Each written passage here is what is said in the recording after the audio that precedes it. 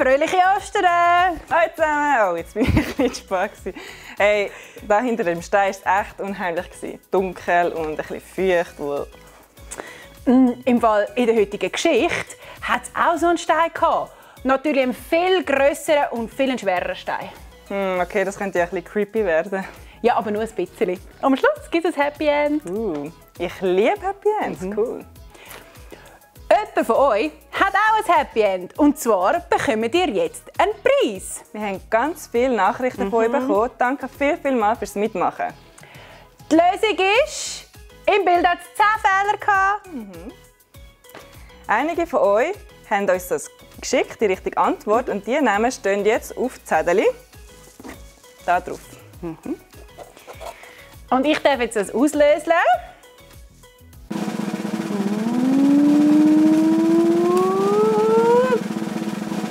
Es vorlesen? Mhm. Der Gihon! Herzliche Gratulation, Gihon! Sehr cool. Wir werden dir deinen Preis heimschicken und dann kannst du damit spielen oder basteln, was es auch immer dann auch ist. So, und jetzt ist es Zeit, zum Jesus loben und preisen. Ja, voll. Den Refrain, den kennt ihr schon vom allerersten Video. Und beim zweiten Lied, das kennt ihr vom Kigo und wenn ihr es nicht kennt, dürft ihr einfach mitmachen. Sind ihr ready? Und los!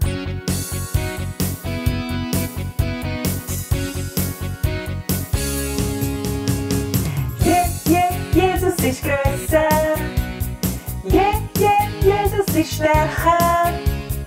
Yeah, yeah, Jesus ist besser. Er ist der beste Freund, was es gibt. Yeah, yeah, Jesus ist größer. Yeah, Jesus ist stärker. Jesus ist besser. Er ist der beste Freund, was es gibt. Nichts, nichts, aber auch gar nichts übertrifft ihn. Nichts, aber auch gar nichts ist ihm schwer. Nichts, aber auch gar nichts kann man seine Liebe nehmen. Nein, nein, nein, nein, nichts, aber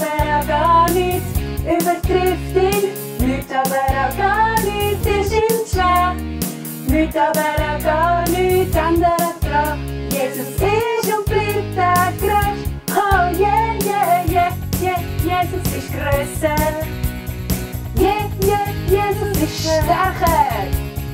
Yeah, yeah, Jesus ist besser. Er ist der beste Freund, was gibt. Yeah, yeah, Jesus ist grösser. Yeah, yeah, Jesus ist stärker. Yeah, yeah, Jesus ist besser. Er ist der beste Freund, was gibt. Nichts,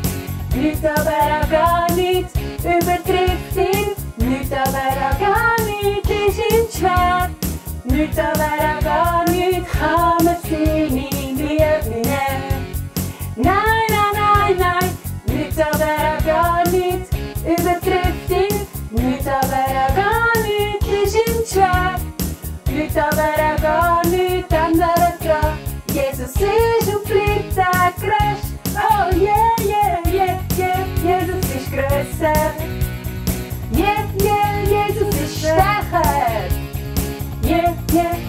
Ist besser. Er ist der beste Freund, es gibt. Yeah, yeah, Jesus ist grösser. Yeah, yeah, Jesus ist stärker. Yeah, yeah, Jesus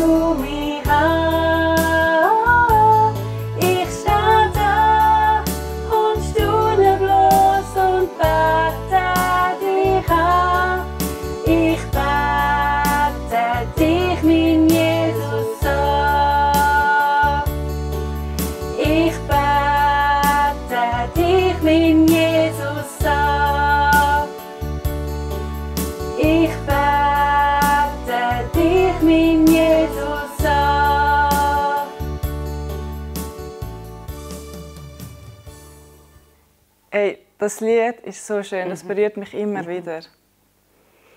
Und jetzt wollen wir doch noch gerade zusammen beten. Jesus, danke vielmals, dass du da bist und dass du uns so viel lieb hast. Und es ist so wahr, du bist der Größte, du bist der Stärkste, du bist der Beste. Und danke, dass du uns so nah bist und dass du uns so viel lieb hast. Amen. Amen. Hey, wir haben heute bei uns im Kigo einen Gast.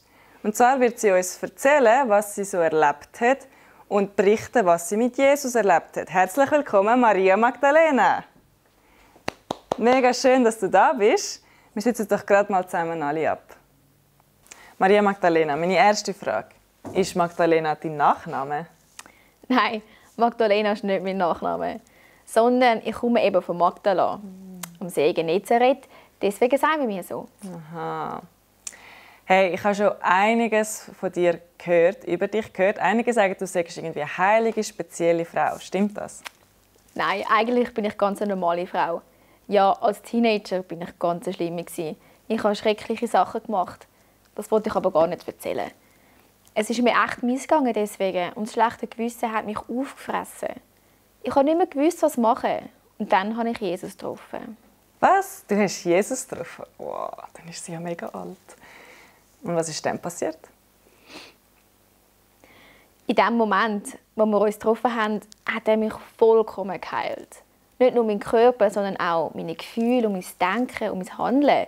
Er hat mir eine zweite Chance gegeben im Leben und ich konnte nochmal von vorne anfangen. Mein Herz ist plötzlich so voller Liebe und Freude. Es hat sich echt übernatürlich angefühlt. Krass, mega schön. Hey, von denen hast du doch Jesus begleitet. Bist du also sozusagen eine weibliche Jüngerin gewesen? Ja, genau. Es hat noch ein paar andere Frauen gegeben, die mit Jesus mitgegangen sind. Sicher haben wir immer wieder gute Momente gehabt. Aber ich glaube, es gibt einen Moment, der sehr, sehr schwierig war. Erzähl uns doch etwas über das Ereignis, das vor 2000 Jahren passiert ist, wo Jesus ungefähr 33 war. Ja, das würde ich euch sehr gerne erzählen. Dafür habe ich noch ein paar Bilder mitgebracht.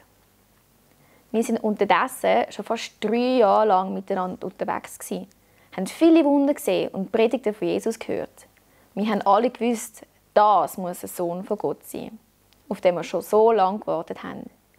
Auf jeden Fall sind wir alle nach Jerusalem gereist, zum jährlichen Passafest zu feiern. Jesus ist mit Palmenwedel empfangen worden. Viele haben Jesus mega fest geliebt, aber einige vom Volk haben Jesus für einen Betrüger gehalten und haben ihn festnehmen. Und sie haben die Gelegenheit auch genutzt, um Jesus dann festzunehmen. Während Jesus also im Garten Gethsemane am Betten war, sind die Römer gekommen und haben ihn festgenommen. Dann haben sie ihn vor das Gericht gestellt, wo er schlussendlich zum Tod verurteilt worden ist. Was? Mit welcher Begründung denn? wegen Gotteslästerung. Bei den Juden hat niemand behaupten, Gott oder Gottes Sohn sein. Und genau das hat Jesus gemacht, obwohl es in seinem Fall ja natürlich die Wahrheit war. Mhm. Jesus ist dann von den römischen Soldaten verspottet und misshandelt worden. Er hat sogar sein eigenes Kreuz müssen tragen bis nach Golgatha. Das ist ein Hügel außerhalb der Stadtgrenze, wo man die Verbrecher gekreuzigt hat. Das ist mega schrecklich. Ihr seid aber nicht dabei oder? Doch, doch. Wir Frauen sind natürlich mit Jesus mitgelaufen und haben mega fest für ihn gebetet. Wir haben auch zugeschaut, wie er gekreuzigt worden ist. Das war echt schrecklich. Aber wir haben ihn natürlich nicht alleine lassen. Mhm. Dann ist er einfach gestorben? Ja, es ist noch eine Zeit gegangen. Zuerst ist es für drei Stunden stockfinster geworden, als wäre es Nacht gewesen. Jesus hat am Kreuz noch einige Sachen gesagt. Und in dem Moment, wo er gestorben ist, ist der Vorhang vom Tempel zerrissen und es hat das Erdbeben gegeben. Dort haben glaube ich, einige begriffen, dass Jesus doch der Sohn von Gott ist. Echt creepy ist das. Gewesen. Und was ist dann mit dem Leichnam passiert? Am Abend hat Josef Jesus vom Kreuz nehmen und ihn in einer Höhle begraben. Wir haben ihn selbstverständlich begleitet. Am Samstag haben wir dann den ganzen Tag brüllt. Mhm. Ich kann mir vorstellen, wie traurig und verlassen ihr euch gefühlt habt. Ich mhm. meine, ihr habt ja eigentlich nur Jesus gehabt zu mhm. dieser Zeit. Aber was ist dann passiert? Es ist uns so elend gegangen. Wir haben die Welt nicht mehr verstanden. Jesus war unsere einzige Hoffnung. Wir hätten sterben mhm. Wir waren mega verwirrt und traurig. Am Sonntagmorgen haben wir Frauen gedacht, komm, wir gehen zu Jesus ans Grab. Wir wollen ihn, wir wollen ihn einbalsamieren mit feinem Öl. Das haben wir dann früher so eben gemacht. Und jetzt kommt das Krasse. Das Grab war einfach leer. Und vorne dran stehen so heilige Gestalten. Das sind eben, glaube ich, Engel, die uns gesagt haben, Jesus sagt auferstanden, er lebe wieder. Nein, wie ist denn das möglich? Sind wir ins Grab geschaut? Stimmt das? Ja, es war leer. Und dann auf dem Weg nach Galiläa ist mir Jesus sogar begegnet. Ich bin einfach nur überglücklich und in dem Moment habe ich endlich begriffen, was Jesus gemeint hat damit, dass er sterben wird und nach drei Tagen wieder wird auferstehen. Ich bin vorher so beschäftigt mit Trauer, dass ich das vollkommen vergessen hatte. Ah was? Er hat euch schon vorausgesagt, mhm. dass er wird auferstehen? Mhm. Ja, schon. Aber ich habe nicht gedacht, so auf diese Art. Als Mensch mit einem Körper. Auf jeden Fall hat er mir gesagt, ich soll es den Jüngern erzählen gehen. Das habe ich natürlich sofort gemacht. Wow, das ist ja wohl das grösste Wunder, das du jemals gesehen hast, nicht? Mhm. Mhm. Hey, das war so unbeschreiblich. Es war überwältigend. Jesus lebt. Mhm. Hey, so cool hast du uns deine Story erzählt als direkte Zeugin von dem Ereignis. Danke viel, viel mal. Hey, mega gern. Tschüss, Tschüss macht's gut. Maria. Wow, Deborah, hast du ihre Geschichte gehört? Hey, ja, das ist mega eindrücklich. Der Jesus ist tatsächlich Gottes Sohn. Das hat er mit seiner Auferstehung bewiesen. Mhm, voll, weil das können ja keine Menschen machen. Mhm. Und so viele unterschiedliche Menschen haben Jesus lebendig gesehen. Es gibt so viele Zeugen. Das zeigt uns, dass es wirklich passiert mhm. ist. Und eben das feiern wir an mhm. Ostern. Genau, nämlich, dass Jesus nicht tot geblieben ist, sondern dass er auferstanden ist. Ja, und er lebt noch, heute. Übrigens, weil Jesus am Sonntag auferstanden ist, feiern wir jeden Sonntag Gottesdienst. Aha, krass, das habe ich ja gar nicht gewusst. Das heißt, jeden Sonntag feiern wir eigentlich Jesus. Feiern wir ihn, dass er lebt. Genau. Mhm, krass, das war mir gar nicht so bewusst. Was können wir jetzt mit der Information machen? Osterhase essen? Wäre fein, oder? Mhm.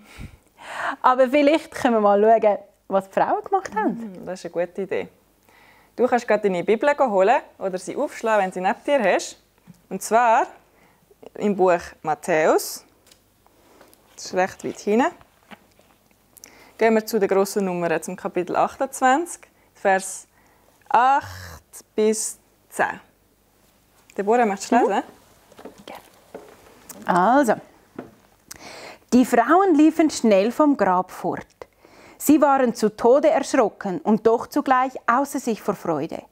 So schnell sie konnten, liefen sie zu den Jüngern, um ihnen auszurichten, was der Engel gesagt hatte. Unterwegs begegneten sie Jesus. Seid gegrüßt, sagte er. Und sie liefen zu ihm hin, umklammerten seine Füße und beteten ihn an. Jesus sagte zu ihnen, Habt keine Angst, geht und sagt meinen Brüdern, sie sollen nach Galiläa kommen, dort werden sie mich sehen.